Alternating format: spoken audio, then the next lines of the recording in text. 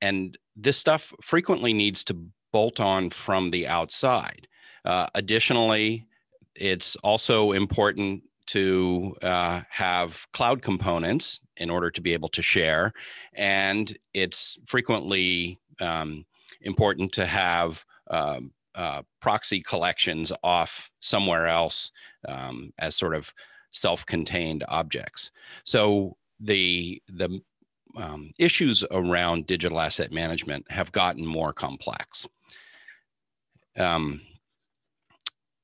this, uh, as Ken indicated, there's a set of books that I've got. Um, for those of you who win a book um, in the raffle, uh, you'll get your choice um, of of any of these. Okay, um, and as uh, Ken indicated, I'm now the chief product officer at Tandem Vault. It's been a, a wonderful opportunity to take a lot of what I wanted to see in the world and actually make it real. And there's there's a number of things that are described in in the DAM book 3.0 that are that are actually pretty hard to find in the wild. And some of what we'll talk about today is actually pretty hard to find in the wild. But I do want to open your eyes as much as possible to um, how all of these parts can fit together in in a new and different way. Okay, so let's uh, start with some trends. Uh, everybody has seen this acceleration to the cloud. Obviously, the pandemic was a huge driver of that. All of a sudden, people needed to work remotely, and the only way to do that really is is with some kind of a cloud application. Or it's it's not the only way, but um, there's a, another trend that goes that's sort of sub trend in this, and that is that um, the uh, the malware and ransomware epidemic is making responsible system administrators extremely reluctant to let people into the uh, institution's system. And so this is another reason that um, uh, collection management is being pushed off into cloud services because uh, an on-premise system that you allow people to dial into is an inherent security risk. And and so that's that's a second driver to accelerate to the cloud. And i believe that you know that and then the you know the third one is the sort of my stuff everywhere um, thing that we've all gotten used to you know we've gotten used to stuff that's on my computer is also on my phone or i can grab it on the web and um, I don't think that is uh, that this is not a blip. This is the way everything is going. So um, that's an important trend. Another trend that we see in in DAM world in uh, all kinds of places, and I'm I'll be curious to hear how many of you are seeing this in your institutions, is the need for multi-departmental um, access to media objects. And you know the the old original dams were were either built usually for marketing or production and everything about the way they're designed and built is is done with the expectation that they're going to facilitate that work the the marketing or or production work um, when you move into uh, the larger needs that we now have with visual media objects then um, you you quickly uh, develop capabilities then that are that the rest of the institution wants to access. So, you know, HR wants to access this and facilities management wants to access this. And, and so this, this material, um, visual media is not, is no longer just the province of, you know, the marketing department or the production department. It's now something that everybody has.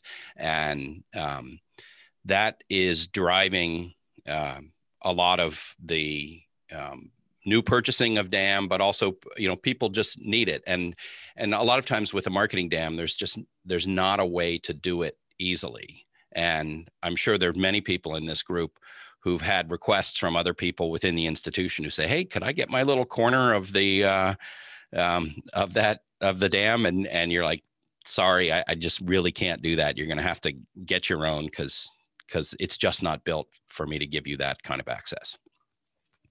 Uh, another thing that we're seeing a lot of, and I think this was um, this was also accelerated by the pandemic, is the need for crowdsourcing, um, and that obviously when photographers can't move about as easily as they did before, then if you want to if you want to feed the beast and have this visual media um, collection and stream that that institutions often need, you're going to have to get it from somewhere else. Um, again, a lot of dams are just simply not built to accommodate this in any way. You know, the opening up uh, the, a pipeline for crowdsource is just not possible, um, and yet it's a thing that people really want to do.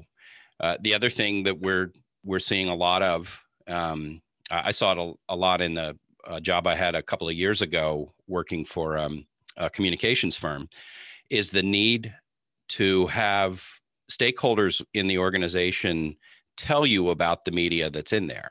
So um, there's no way that the photo office is going to know the names of every single person uh, or the parameters of every single event.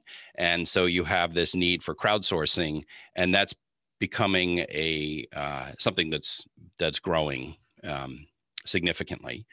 Uh, and then we we need uh, systems to link to each other. So you know the applications where you know if you're using Slack or you're using um, uh, Dropbox or Box or a CMS um, uh, to communicate with with your uh, faculty, staff, or students then you need that oftentimes to be linked. So uh, API accessibility, full API accessibility is becoming uh, essential. It, it, really is essential now in any kind of a dam. Um, and this is an interesting one to me that um, not not that long ago, say 2009, it was reasonable to expect that everything you need to know about a file is something that you could kind of add as metadata, and that information could live in the dam or in the file.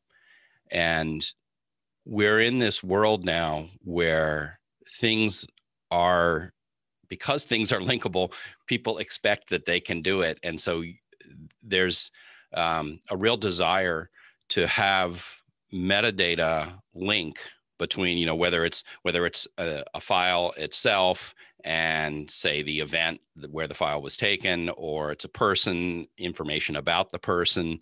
Um, this is this is all information that is is it's too large for you to stuff into a dam. There's too much to know about people, events, um, uh, or you know, kind of anything that that where there could be a definition. Uh, so that's an important change as well as the the ability to link out for other data. You know, we see this obviously with just GPS systems is that there's a tremendous amount of information that can be linked via GPS and you know Google's got a ton of information that's GPS related and if you have those coordinates you can you can uh, know a lot about what's in a picture. Uh, the other thing um, and I'll be very interested to hear uh, questions about this, is uh, artificial intelligence and machine learning. Um, I'm going to go over what I think are are sort of the places where it works now and the places where it doesn't really work uh, right now. Um, there's a whole lot of promise there, but there's a whole lot of uh, empty promise at the moment as well. Um, but it's an it's certainly an important thing, and for you know specific things, it's it's essential. Uh, I'm going to hit two big structural um, issues here right at the beginning because they set the stage for how I think you need to be thinking about your dam. And the first is that uh, visual media is now a language. Um, everybody is using it for, and and really this was brought about by the smartphone. Um, you you expect that you can send people pictures and people can send you pictures you know picture it didn't happen. Um, and and that is uh, becoming an essential part of all communications. This is one of the reasons we're going multi-departmental in this you know that this this is the direction. Um, visual media is an incredibly efficient way to encode data. Your your brain's basically a visual computer uh, and we have now a, a new vernacular. Um, this is one of the few slides I picked up from 2017 when that was new. Um, and you know, it was it was like groundbreaking that we're that we're breaking the fourth wall with a selfie that goes out to Instagram during the Academy Awards, a kind of thing that is utterly commonplace now. That they um, that people are are shooting pictures and distributing them in real time as events happen, and that that is uh, an essential part of what everybody expects from events now is that this information is going to be distributed in a multifaceted way in real time. Um, let's talk just a couple of points here about this this kind of language of visual media. Um, you know, it it essentially just happened. Nobody nobody planned it, but all of a sudden, because of the smartphone, everybody was able to start communicating with pictures. And so there are you know pictures of everything now and it's and because it's so efficient um, it's it's just the way things are. It's not going back. Um, as a language it's a machine language. It's you have to write with a machine that is your your camera your your phone. Um, doesn't have to be a phone but uh, some kind of a camera. Um, and you have to read it with a camera and those have ramifications or you read it with a phone or some kind of computer. Um, those have real ramifications for how you build a system.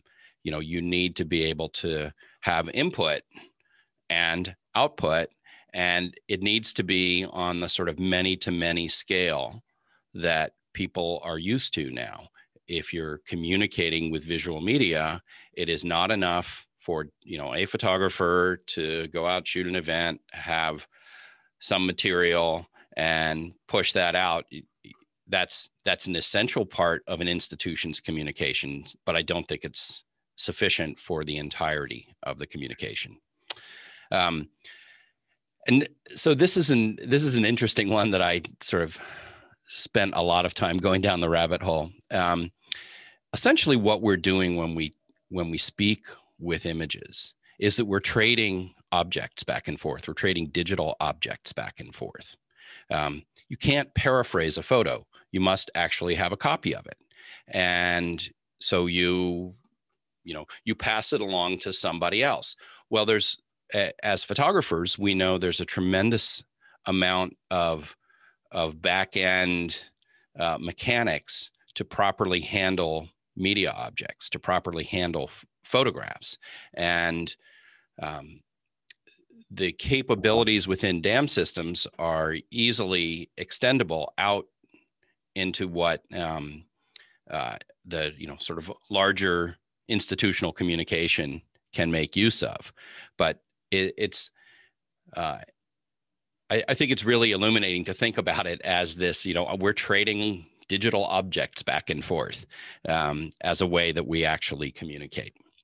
Um, and I'll talk a little bit about the challenges of rights management in that kind of situation um, a little bit later. But but that's you know but one that is, that is one of the facets that we have to deal with if you're communicating with visual media is you have to deal with rights and permissions in a way that you don't with textual speech um, you know there's there's there's not the same level of privacy rights there's not the same level of intellectual property rights that are around um, text-based speech that exist with with visual media.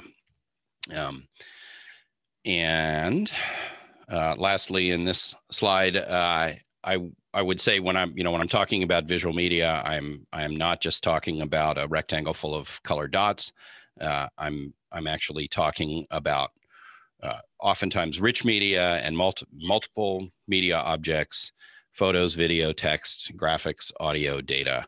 I mean, this this is what, the, especially the you know generation of of uh, customers if you i don't know how you guys talk about it but the, you know students the people you are serving as the customers of your institution you know they understand visual media objects as this rich um, object of you know photo video text graphics audio data. Snapchat and facebook uh, and instagram have taught them that. Um, and and so to to sort of wrap that little section up visual media is being used by nearly everyone for nearly every purpose. And i think that people sitting in the in the chairs that many of you guys are sitting in within an institution are the best suited to help that institution figure out how to manage this this set of issues. Okay uh, one more background item uh, sort of a structural item and then then i'll get into what's what's future facing.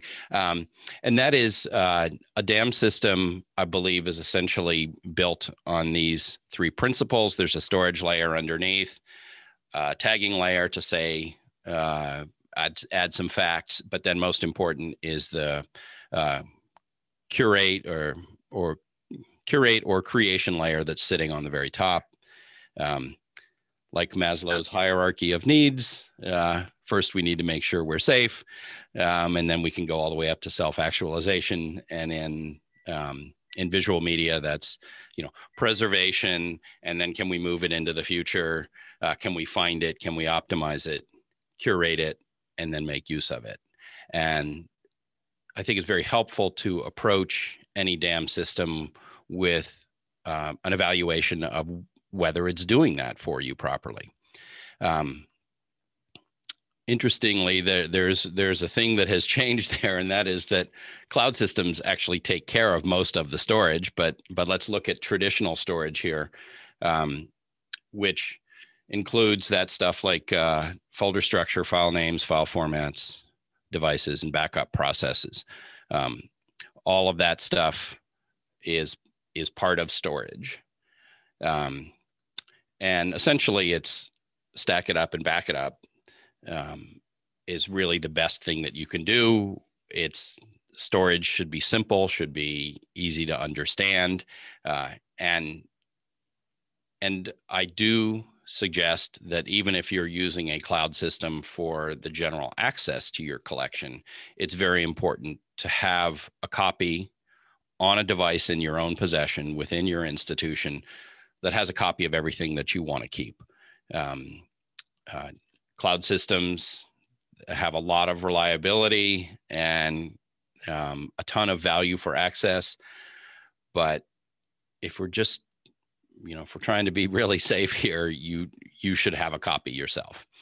Um, the tagging layer is essentially applying facts to your uh, to your collection, and that makes stuff discoverable. And then the curation layer sits on top. Um, and that's where you bring stuff together to tell a story or to uh, serve some some purpose. And um, that's where the value is. And it should be something that your dam system uh, will will allow you to to do easily and effectively and to do that you know distribution the self actualization of the of the visual media. Um, okay so those are the background things and then i'm going to sort of talk about how some of this can be done and and where some some new stuff is happening.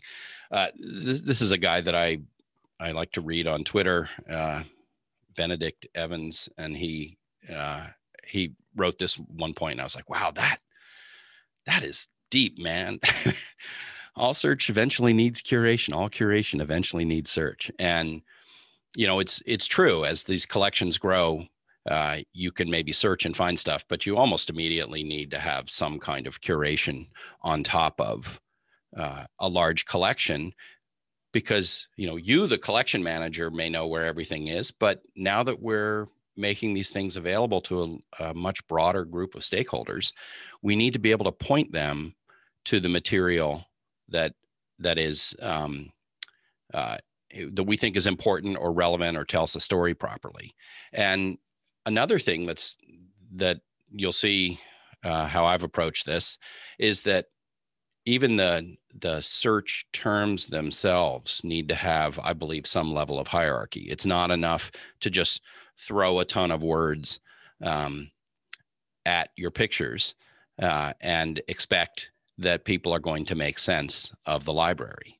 And I'll show you how there's some ways uh, that we've implemented to to prioritize that to to understand um, to to communicate what's important. Okay, so let's talk about how people actually discover stuff. Um, and this also is in a hierarchy. Um, so the easiest stuff to discover is the curated content that the collection manager has said, pay attention to this. That should be front and center in your system. That's that's the highest value. Um, it's the the easiest for people to find and make use of. Uh, then there are elements within uh, most software that have, for instance, a, a, pick list that you can filter, and so that's that's a place where a collection manager can say, "This is the important stuff, and I want to put this in front of you." And um, it may still be a filter, like it's going to show every picture of dogs, but dogs are really important to our institution, so we want to make dogs easy for people to find. Um, this is one that uh, I don't know how many Lightroom users there are out out here who are using the uh, hierarchical keywords, but once you get used to that, it's just a, a fabulous way to be able to make even a very large collection um, navigable. So uh, tag trees that you can um, create in an orderly manner that navigate naturally by a regular human being are uh, an essential tool for making a large collection understandable. Um, there's an another sort of side version of that, which are tag clouds, and um, you know we're all familiar with this in in a bunch of different applications where you um, you know you you select on a group of pictures and then you can see whatever keywords are uh, contained in the selected group or the the shown group, um, and that that does a couple of things. One is it filters down to just the relevant material, but it also makes it super discoverable. Um, so tag clouds really important tool, I believe. And uh, and faceted search i'll show you i think i have a couple of screenshots of this um, or a screenshot anyway but faceted search is is what you get on amazon you know or let's say b&h you know when you say oh i'm looking for a nikon uh, a nikon lens or i'm looking for a lens i want it to be nikon and then it filters down to just the focal lengths of nikon lenses and then if you say uh, uh, no, I want it to be a, a zoom lens, a short zoom lens. Well, it's going to show me the, you know, eight Nikon branded or the four Nikon branded short zoom lenses. That's called faceted search. Um, and essentially it just, it just is those, you know, it's, it's exactly what you see on the left-hand side of B&H and you see it in Amazon and, and, you know, most retail has faceted search now. And actually the thing that's powering faceted search, uh, this thing called Elasticsearch is, is, um, used very frequently in um, in DAM applications now. Uh, autocomplete helps as well. I start typing, not sure exactly how to spell the name. And then the you know the last thing is just blind search. Like uh, I'm gonna type a phrase in and hit return. And the thing is, you don't know like have they called it cow, cattle, bovine, farm animals, cows, uh, and the vast majority of your users are um, used to Google, where they can misspell, they can put in synonyms, um, and still get what they're looking for because Google knows, you know, has such a deep back end and actually knows so much about you. Um, but that's a that's frequently a, a pretty poor user experience in an institutional dam because you don't have that same level of um, of rich metadata to power search results. Um, so blind search is, you know, it it's really should be the last thing, and you should be configuring your system in such a way that uh, you know ideally you're you're using an application that allows you to to sort of have this this hierarchy as as uh, outlined here.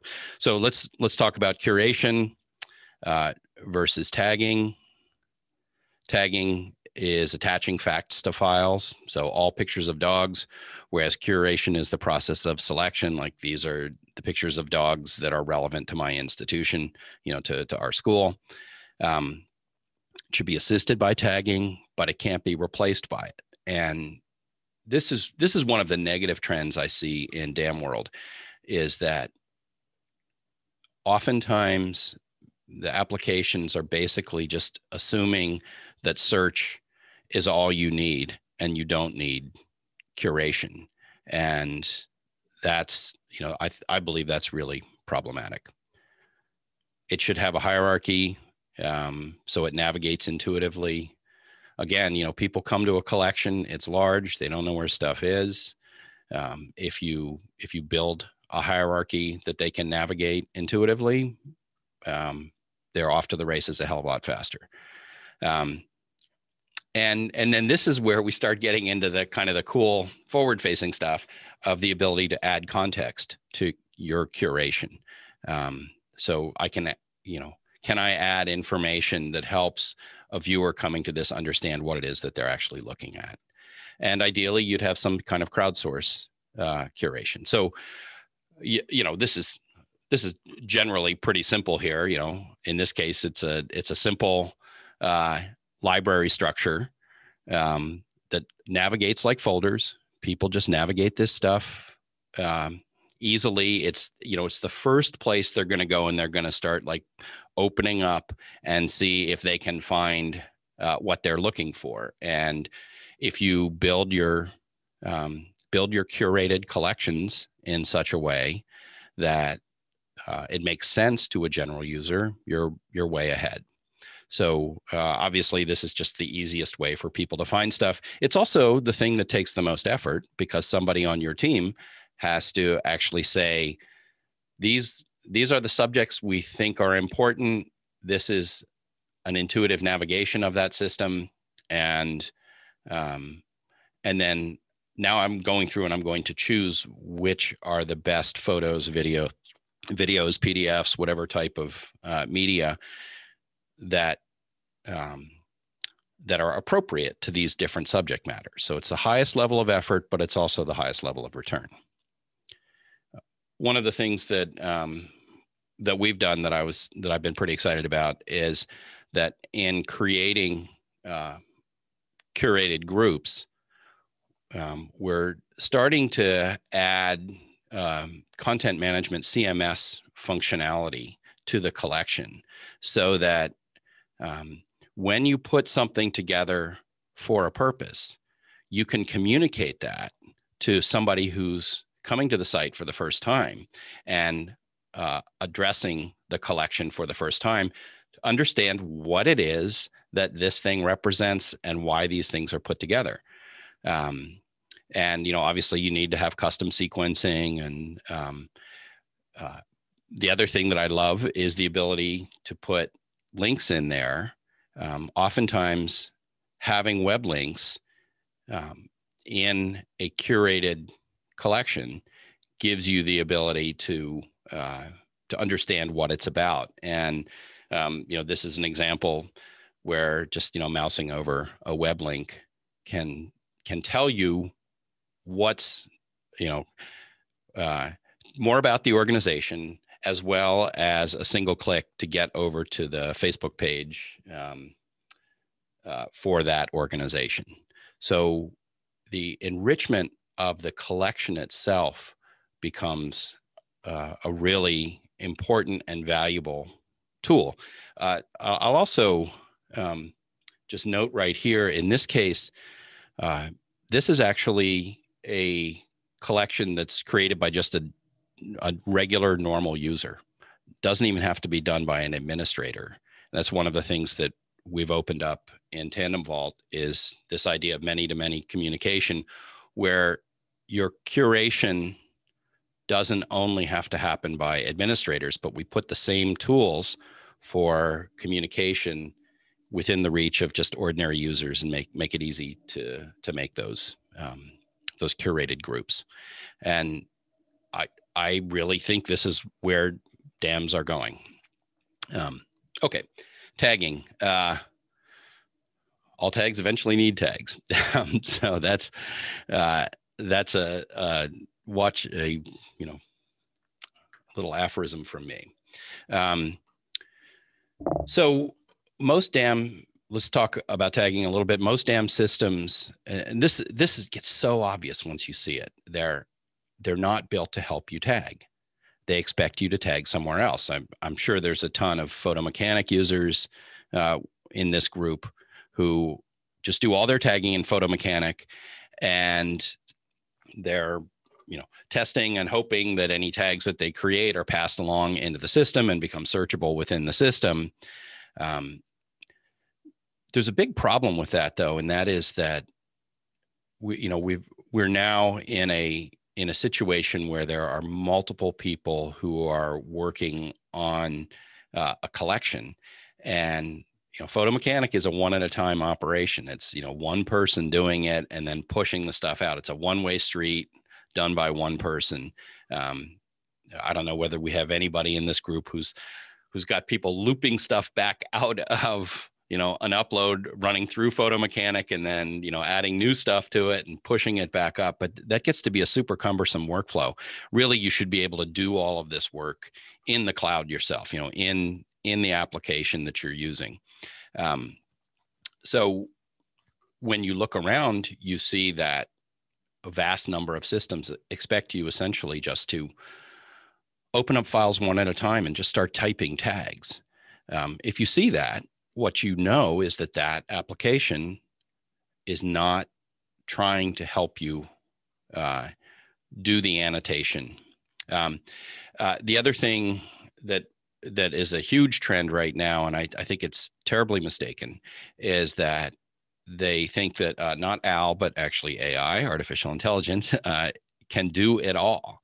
Um, and there's a ton of um, dam applications these days that essentially are just assuming that you're going to dump a bunch of stuff in and AI is going to tell you everything you need to know about it. And we as photographers know that that's just simply not possible. There's stuff that you know from being there when you shot the picture. You understand why you're shooting the picture.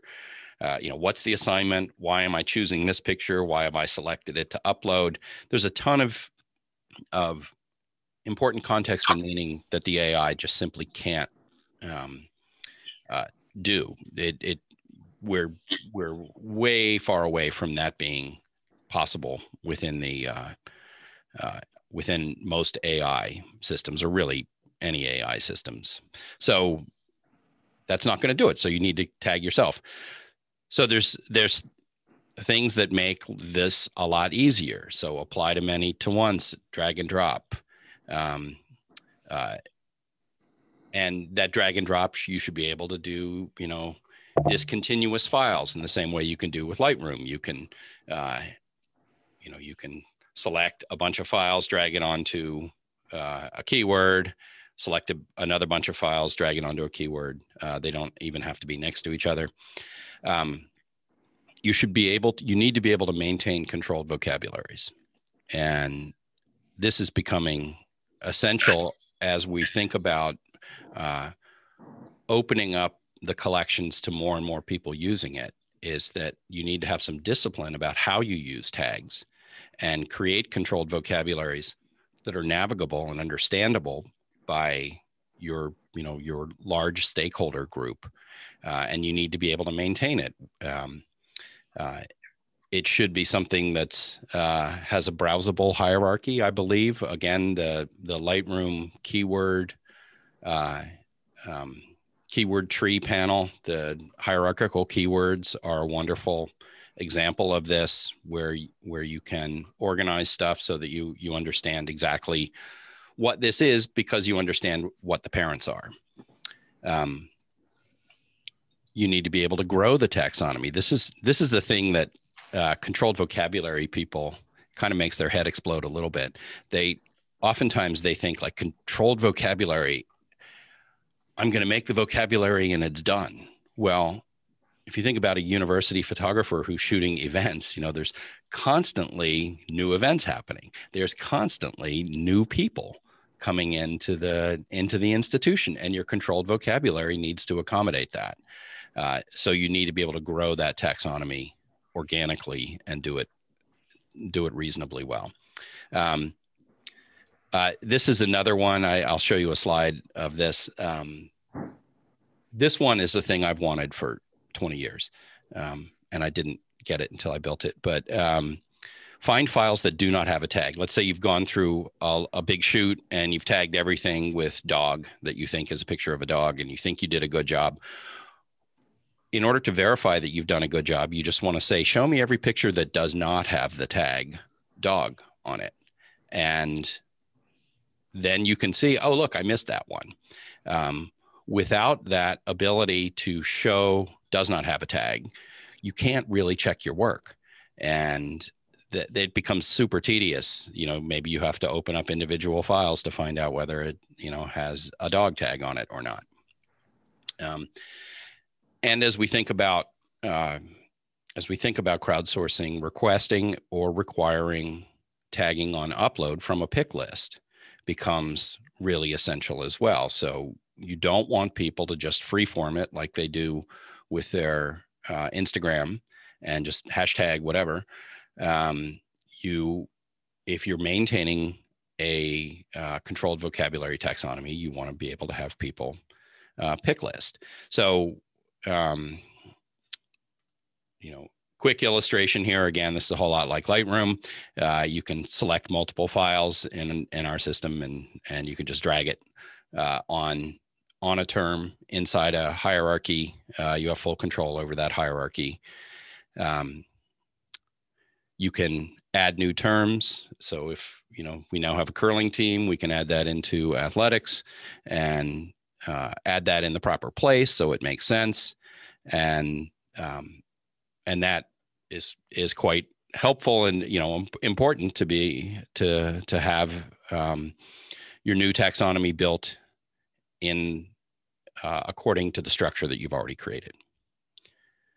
Um, taxonomy trees need to be searchable because you end up with stuff that's that's buried deep in hierarchies. The you know the older and bigger your collection is, the more stuff you're going to have in there. People aren't going to necessarily know it's there. Make it easy to find. Uh, this is where you know tagging needs needs its own level of search. Uh, and this is an example of the um, does not have tags. So, you know, I thought I've tagged everything that's a football image, but then when I click on does not have tag, I see that, you know, right above and to the right of the of that dialog box. Oh, there's a football picture. Oh, I need I need to tag that.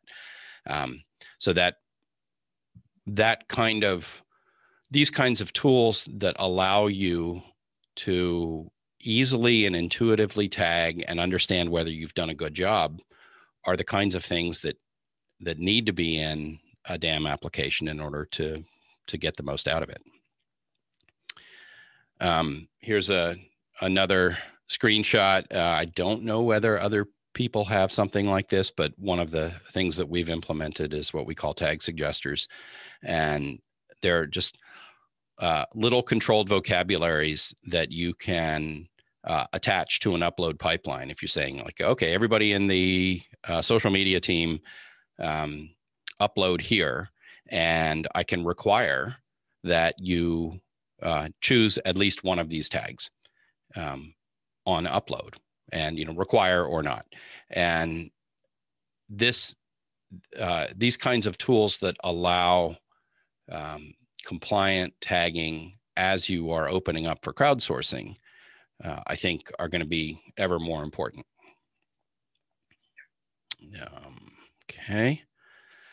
Uh, I'm going to talk about tag enrichment. So uh, I think this is essential as well that that uh, your tags, your keyword tags, um, and I don't know. Some people don't really like the word tags. They they think it sounds non-professional or um, you know, it's like, wait, that's Flickr. Um, a tag is just the metadata value. Um, so get that out of the way. So tags uh, in our system can be person, event, or general keyword. Um, I think it's important to say what I mean by this. Uh, uh, and then visibility, it's it's important for. I'll talk in just a second about the uh, diversity issues and the complications around that. Um, uh, visibility settings are essential. Um, I believe that it's super valuable to have definitions. You know, we may know when we assign a keyword exactly what we mean, but you know, there's the homonym problem. There's there's also I don't know what that thing is that you know that keyword you applied. So giving it definitions that become searchable is really important. It's also nice to to have web links on keywords when it's appropriate. Um, and context aware properties. So if your keyword is an event keyword, um, it would be nice if it also had, you know, a date and date and location tags associated with it so that when you apply an event, you know, you could you could make an event saying like, okay, here's every football game for the fall, here's commencement, here's, you know, all of the scheduled events, and we'll uh, uh, pre-populate it with the properties that we know it's going to have and then when we just apply the one tag it's you know it's like a little metadata template. Now if you're doing all of that already in in photomechanic good on you um, but as i say this is oftentimes a, a team sport for tagging so uh, this is this is one example um, w- one of our clients is uh, has a bunch of um, plays uh, photographs of of plays in the system, and that includes you know information about the the playwright, and that can include and we can say yes, she's a person, and we can um, have links uh, and those links straight to her website. So if you don't know who Katori Hall is, you can uh, go find out. Um, event tags can can have um, you know there's here's some of the uh, properties of this uh, event tag from this presentation today. And it has a, you know, it has a link to the announcement. Um, uh, I don't have location on this one because there is no actual location. The only thing that's there is uh, uh, since we're virtual, um, but there is a date and there is a uh, an organization that is attached to this. Um, so the enrichment of your metadata, I believe, is is becoming a more essential part of having your collection become um, a, a, repository of knowledge about the institution. And in a lot of ways, the visual media collection of a university, uh, institution of higher learning, is one of the best places to make um, to, to store this information in a highly accessible manner. Um, it's sort of flipping things on the head because in the in in the olden days of last year, um, you would expect this to be done in a document management system, and then the photos are like this afterthought. And most of the document management systems do a terrible job with visual media. And my view is that if we've got all of we being you know photographers people working on photo collections if we have all these capable capabilities associated with the visual media let's attach this other textual and linked data um, in order to uh, to to make a more valuable repository of information about the institution okay um, so i want to talk about uh, being conscientious about your tagging. Uh, we can we can have a little discussion about this in, in a few minutes, but um, you know we know that language norms are changing, and uh, I, it's essential to have a block list, um, and you ha- you have a need to alter tags. Um, so here's a here's a tag you know maybe you use the the keyword girl and you're like oh and that now we better say young woman or you know, I, I didn't want to put an offensive term in here, but you know, there there are there's a need to change a tag as language norms change in order not to get in trouble. And when you change that tag, you really don't want it to lose, you know, you don't want it to be separated from all the files that have that tag now. So if now there's a more preferred term, let's use the more preferred term by by editing the name of the tag, which does not in fact edit uh, whether it's attached to the same set of files. Um, this is a, another another thing that's really, I think, an important one for us is that uh, all tags have these three levels of visibility. So you can block it, and that means nobody but an administrator will ever see this. And so, um, you know, I have a, a list of offensive words that I have blocked from uh, from being ever shown as a keyword uh, in the system. We also have this notion of um, searchable versus visible. So a visible tag can be seen by a general user in a tag cloud or in an info overlay. Um, but a searchable tag will power a search, but is never seen by um, by a general user. So that would allow you to have terms that are, you know, maybe slightly on the edge that you know people are going to use, but you really don't want to have them visible. Uh, and it will it will return results, but it's not it, it's not visible as to why that is. So that's um, uh, I, I, think that's a a really really useful um, characteristic of keywords to be able to to have these visibility settings. Um, rights tagging, I, I told you that that I'd hit this a little bit. Um, again, it'd be sort of interesting to hear what what people are doing now. But you know, for a lot of people, it's just the IPTC rights tag, and maybe there's a contract that is um, in somebody's desk drawer somewhere that tells you you know what the ownership or the usage rights are for files and there's a, there's a couple of problems with the iptc one is that um, it's oftentimes uh, not describing the actual current state of the usage rights. So it may describe the transfer from the photographer to the institution if it's a freelancer, let's say, but it's not saying these are the rights we, the institution, own. And so that's that's one problem. That's not not always a huge problem, but a lot of times it's wrong. Uh, more importantly, the language that's being used is uh, is oftentimes pretty fuzzy and not easily understandable and possibly needs a lawyer to interpret and it's not filterable. Um, you can't really say like okay show me everything where the iptc usage rights say that we have unlimited use. Um, and and so that's that's one of the things that we're looking to address. Um, contracts and releases should absolutely be attached to the uh, files themselves when whenever possible. Um, and when you're crowdsource, when you're collecting files from you know images from from the you know stakeholders at large, then you really should have upload agreements that are part that they have to click, just like you know when you go into Instagram, um, and they give the institution uh, some level of privilege to at least store the file.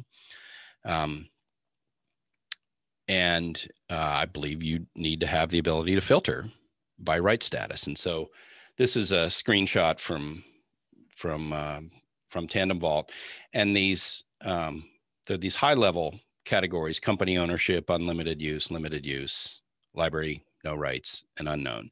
Those are all filterable categories. And you can just click on that and find everything that uh, has been tagged as owned by the company.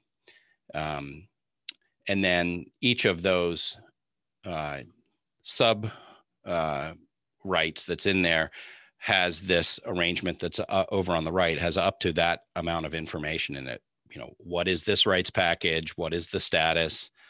Um, what is uh, the uh, IPTC, what rights will be written into the IPTC usage rights? Is there a second party? And then even is there a clickable contract where I can go find the actual agreement for the uh, purchasing of or the licensing of, of these images?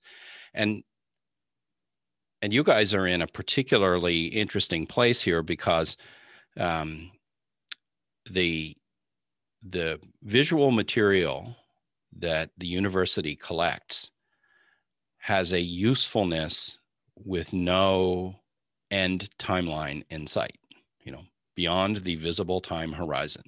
So they the pictures of the students today are going to be valuable as an institutional asset through at least the full lives of that student. And if you know those few students you know i assume relatively few who make a real mark on society. Those those could be useful off into generations.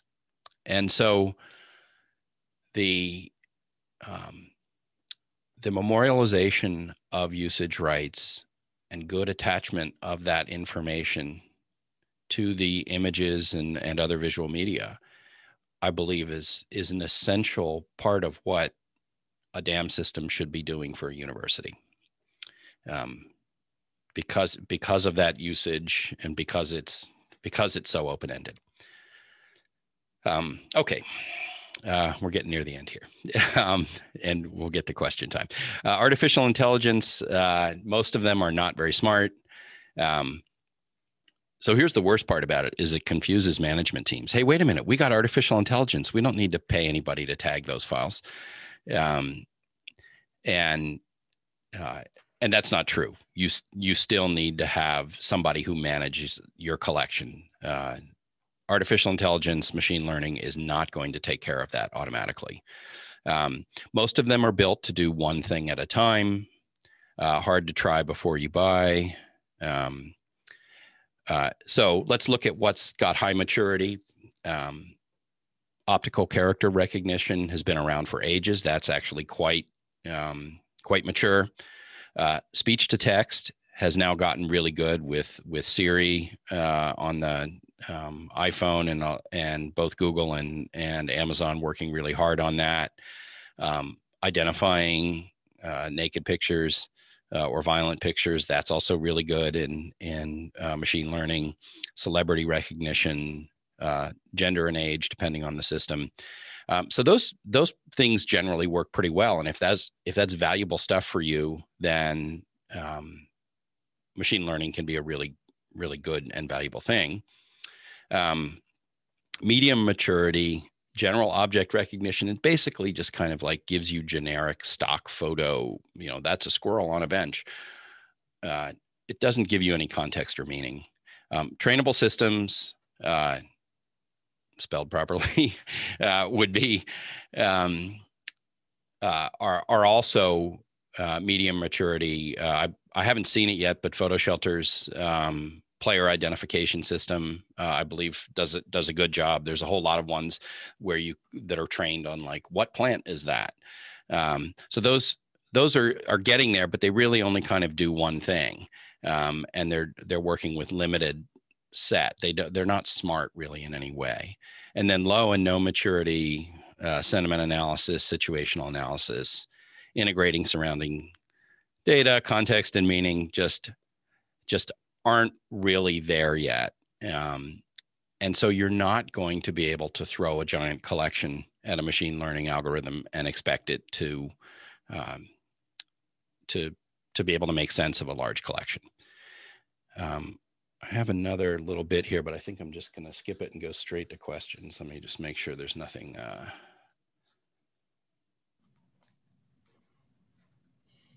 Oh yeah, I do want to talk about just very quickly here about multi-departmental dams. Um, so in order to make a de- multi-departmental dam that actually works, you need to have administrators for each different group. Um, and you need to have separation of the content. You should probably have separate landing pages, uh, separate submission pipelines, and tags that are not relevant to one group should probably be hidden to from another. Um, and these are all the kinds of things that just really aren't in most uh, most dams. Um, and you know, it's one of the things that that we built from the ground up for. So here's the same library uh, viewed by two different people with uh, two different sets of permissions. Uh, it's really so on the on the left is is the global administrator, and on the right is somebody who's just a member of the the Guarda team, and uh, that's all they can see. So departmental um, uh, departmental functionality, I think, is is a really important one if you're evaluating a new system. You know, if you're happy with what you got and and it works fine, then it works fine. But um, Okay, that was me blathering on for an entire hour. Kenner, Peter, Peter, are you was, there? Or did you go to sleep? Peter, I'm, I'm, I've been wide awake the whole time. That was great. Thank you very much. Um, we do have some questions that people put in the chat, and I'm going to read. I'm going to start with the more general uh, uh, archiving questions, and then we've got some specific Tandem Vault questions. And then um, once I'm done with those, we're going to open it up, and if people want to just raise their hand to ask a question, I'll call on those folks. And if you want to ask a question, but you don't want your name out there, uh, you can go ahead and put it in uh, chat and I will go ahead and read the question without identifying you. But we're going to start with, uh, with Matt's question about, um, about controlled vocabulary. Um, and Matt says, someone has to be the decider on choosing the right words, cattle versus cow, for example. Are there any absolute right or wrong moves when it comes to choosing the actual vocabulary you use for tagging? Okay, so that's a great question. Um, and the you know the first part of the answer is that your controlled vocabulary is an expression of what's important to you and your institution. So that's that's the first thing. Um, so it's always going to be contextual to your institution. Uh, second of all, one of the most essential parts of successful implementation there is the ability to do some basic blind testing. And uh, so, as an example, uh, a consulting client of mine in the in the natural um, conservation business uh, put their entire um, collection together with a taxonomy that used the Latin names for uh, all of the animals. And it turns out that even all the scientists inside that company all use the common names. And it was done in such a way that it was not fixable. So, an essential part of that then becomes putting the thing in front of uh, regular users and seeing if they understand it. So, uh, you know, some of that, you know, is it a, is it a, a, a sub or a grinder or a hoagie? You know that that's um, that's uh, geographically based. So um, so there's not a, a, a, good answer other than absolutely you want to test. Um, very frequently those taxonomies are built in a conference room a bunch of people sitting around for like a year figuring out like everything they want to know. Um, uh, one of the things that we're excited about with tandem vault is that it allows you to create that taxonomy and share it with other people immediately and and say hey could you go find what you're looking for you know the, find files for this project? And if they like i don't see where that is. I don't oh you called it that. Okay. Well then you can know um, i need to rework it. Okay, thank you. By the way, it's a hoagie. Um, just so you know. Um, I'm pretty sure it's a sub. uh, David from Central Washington University asks, and, and I, I, don't know whether you would know the answer to this, honestly. Do we need to worry about issues regarding FERPA when storing files and documentation about students within the photo information? And I guess we could put HIPAA in there as well in terms of the federal acts that protect privacy among students and um, and patients. Yeah, so that's um, you know one of the things that we have not done is to link people keywords to the person ID of a user, um, because I I think that's a little bit fraught. Um, it you know it's an interesting question and certainly one that you would want to consider um, uh, talking to the legal department about um, you know, university is collecting all kinds of information about people. You could link it by some unique identifier that you know links to the student database system, but there, you know, again, this this issue about there being special rights around photographs may make that uh, less less valuable, you know, or or you know, not not really workable in in a way that you know linking to a professor's bio and their books on amazon um, and you know their speeches or stuff like that would be perfectly acceptable. Okay. Okay. Um, there are some specific questions. I've got about a dozen specific questions about tandem vault um, and then if you want to stop sharing your screen i can open it up so i can see people raising oh, their sure. hand when we get yeah. done with that that would be great will do and um, and I'm I'm happy to uh, I'll be in the vendor lounge tomorrow, so I can can do some of those questions then too. Sure. Um, and so, um, well, let me just go ahead and run, run through these quickly that people put in the in the chat. Um, looking at those curated groups that people, the users created um, that you were looking at, is that something that all the users can see, or just that one user, or can you fix that? Or, or uh, the uh, the user who makes the group has control over it. They are the owner of that lightbox. Okay. And um, so they can invite other people to it and share it. Gotcha. Okay. Or and not. Tandem Vault, do, do Tandem Vault and Lightroom work together? And, and, and if so, how? Um, so we uh, Tandem Vault 2 has a Lightroom publish plugin, but we haven't updated it for three yet.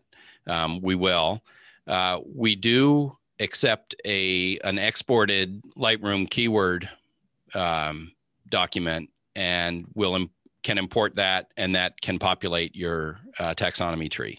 Okay, so if I've created um, this is me now. If I've created a hierarchy in Photo Mechanic or Lightroom, I can export that, and now everybody else has to use that as well. If there, if we have crowdsourced tagging going on. Yes. So when you you the the um, uh, permission of an administrator, the the you know there's levels of permission. So a general user can browse the taxonomy tree. A tagger or better, well, a tagger can assign files to tags, and then you have to be up in the upper levels of management in order to manipulate the tree. Gotcha. That makes sense. Um, and that that answers the question about permission setting around among administrators. Um, when you were showing the football tagging and finding the missing images that didn't have the, the, finding images that did not have a football tag, was that some sort of AI based thing where it went and found football photos, or did you just look in the folder of football photos and find the one that didn't have tags? Um, I, it was a it was a manual process. Um, we we're uh, we're rolling out um, AI tagging for transcripts uh, in videos tomorrow. Um, and that's just a, a tiny step away from, you know, general keyword tagging. But most of my experiments have shown that generically to be not particularly useful. Okay. Um, you know, most of the football game photo football photos are going to be like shot at a game. It's going to be fairly easy to tag them all as football.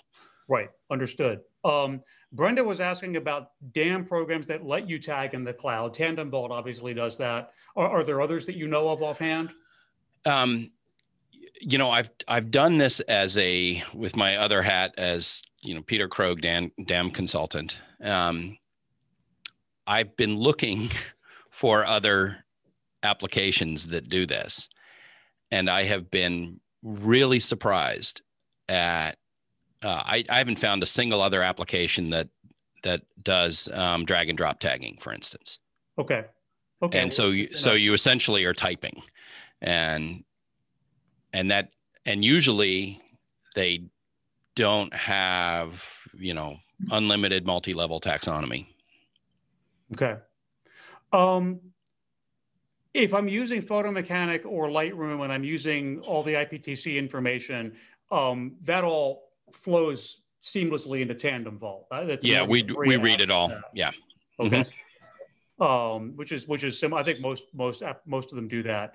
Um, yeah, so, although there's the, I, I, will put an asterisk there. Um, it, it's surprising to me how many applications sort of have arrested development at some earlier stage. Uh, I was using uh, Widen um, to name one name, and they basically supported the IIM model, which is the the model that became obsolete in like 2004. And there's a lot of applications that won't support the IPTC extended, um, and and you really just have to test. Okay.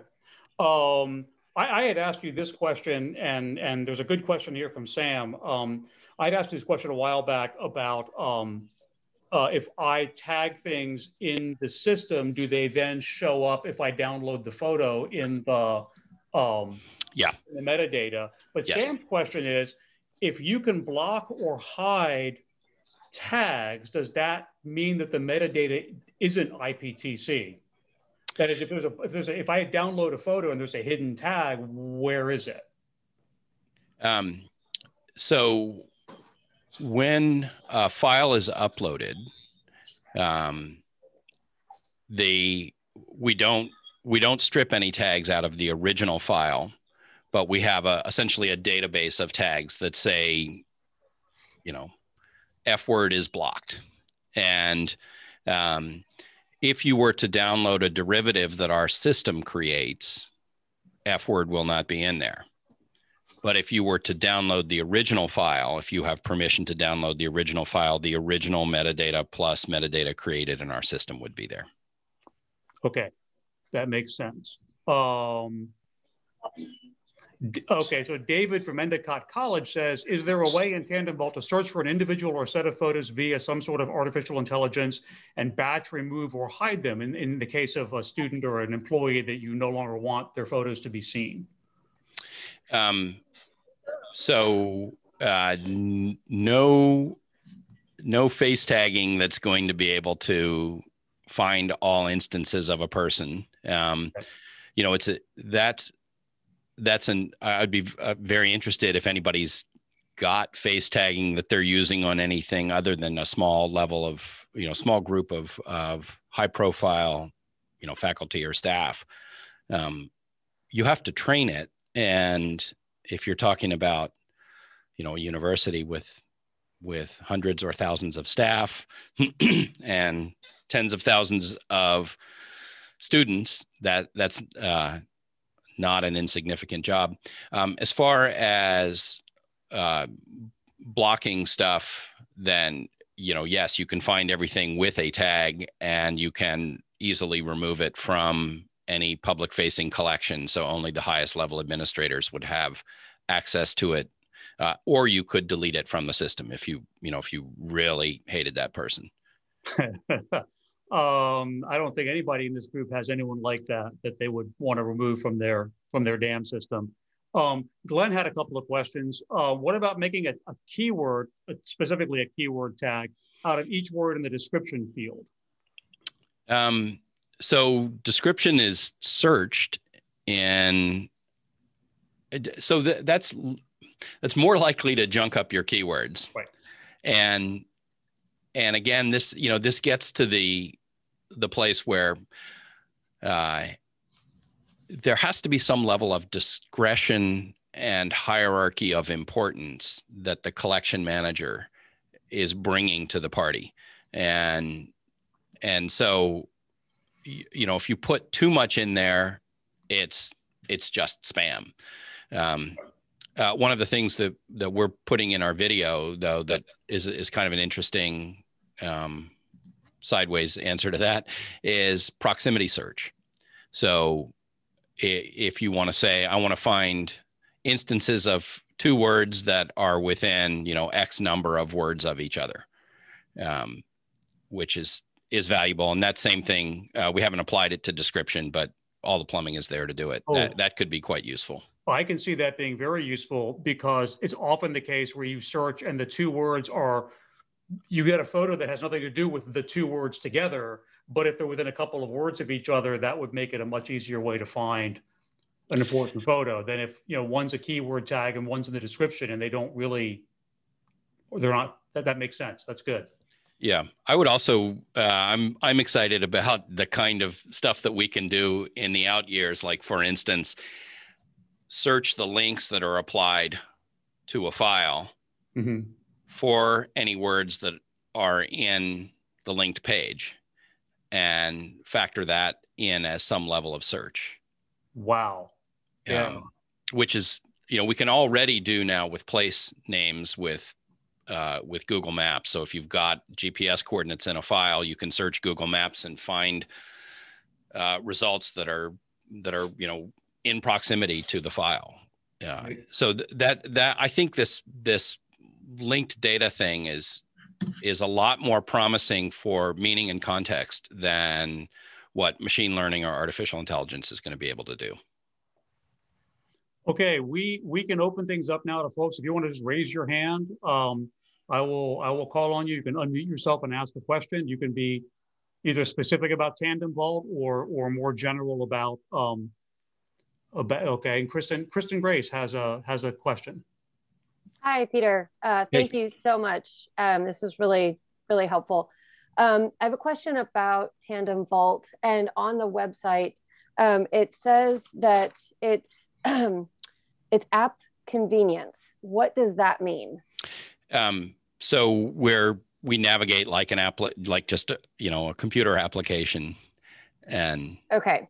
So uh, do you, do you have you mentioned Lightroom kind of yeah. a uh, integration? Are there other app integrations, Adobe apps that are integrated? So at the at the moment in Tandem Vault three, uh, we haven't rolled it out. Uh, it's uh, Tandem two has a bunch of those app those integrations, and um, uh, those are probably the next thing on the list uh, once um, the machine learning transcription service uh, delivers tomorrow. Um, but the that'll probably be Dropbox, and Box, and Google Drive for in out, and then um, uh, I'm chomping at the bit to get Lightroom integration. I I really really want that. Um, like now, but um, uh, and simultaneously in InDesign do you have plans for like mm-hmm. InDesign integration yeah and that's a thing we're looking at we we had the connector um, the silicon publishing connector mm-hmm. uh, we had that implemented in tandem vault 2 um, my understanding is that adobe's actually opened up some other pathways into integration and that's a mm-hmm. thing to um, for, for us to check on. The, the other thing is is that our architecture is such that we can actually turn the web-based um, interface into a locally running application that just runs on your computer. And if you if you're familiar with Slack, um, Slack is just actually a web page that's running as an application on your computer if you have Slack on your computer. Okay. Um, and that's the same architecture we're using. Interesting. Okay. Thank you. More questions, folks? This is your chance. This guy knows everything about digital asset management. Everybody's ready for lunch, I guess. it's possible. Um,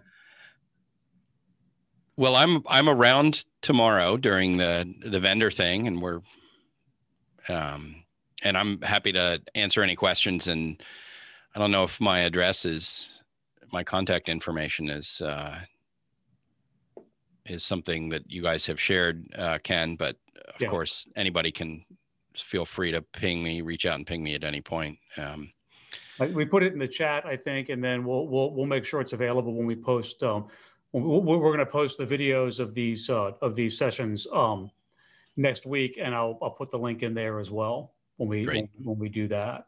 Um, and I, I, would recommend folks if you're if you're if you're looking at dam systems or whatever. I, I did the walkthrough with Peter with Tandem Vault uh, a month or so ago, and uh, it's very well thought out. It, it, it, answers a lot of the sort of questions that I was asking um, over the years. Uh, you know, we we we run PhotoShelter for brands here, um, and that's pretty well ingrained in our in our system right now. But if I if I were looking right now, I'd look real hard at that. So Oh, thanks. So, so Amanda, you you have a few things to give away. I'm going to um, let's see, where am I going here? I'm going to go, yeah. Amanda's going to give away some books. So let me get my screen up here and show you what that looks like. Um, Amanda, you want to give away some books? Sure, yeah. Um, Peter is very generous and he's um, giving away many of his books. So I've got 10 to give away today. Um, I went through and did some random number generating to choose the winners here. And I'm going to put them in the chat and I'll also read them out loud right now. Um, and then I will reach out to you via email to get your, your address to send it to you. So um, our winners are Amy Obudzinski, Brittany Greider, Jeff Miller, Kristen Grace, Kurt Stepnitz, Lou Bruns, Mark Philbrick, Misty McElroy, Mark Diorio, and Nate Edwards. Congratulations. Congratulations all. And, and uh, as I said, um, uh, you can choose which book you'd like. Um, and I'm happy to give you a rundown if you're not sure which one is the right one. Perfect. All right. Glenn, Thank you. want to, Glenn, you want to say a few words? Not really, but sure. Um, well, thank you, Peter, uh, especially for stepping in, also for uh, pointing us in the right direction uh, regarding uh, digital asset management. Uh, I know it's something we all love and also hate at the same time. So, doing it better is always uh, very important. Um, everyone, be back at two o'clock for our next set of discussions and presentations, and have fun at lunch. So Yep, we have an hour and a half. Come on back. Come on back in 90 minutes, folks, and we'll have uh, we'll have some we'll have some good stuff this afternoon. Uh, we're going to have Robin Layton from Nikon, uh, Nikon shooter, and then we're going to do the Nikon shootout, uh, and that'll open up this afternoon. And we'll have a an on location, at, you know, at home or on camp. I don't know what the prompt is going to be, but we'll find that out uh, after her after her presentation. So we'll see you all there. Everybody enjoy their submarine sandwiches. I'm going to find a hoagie right now, Peter. Unfortunately, I can't get them in North Carolina. I got to go home to Philly. Yeah. All right. Thanks for having me, guys. I'll uh, look forward to seeing everybody tomorrow.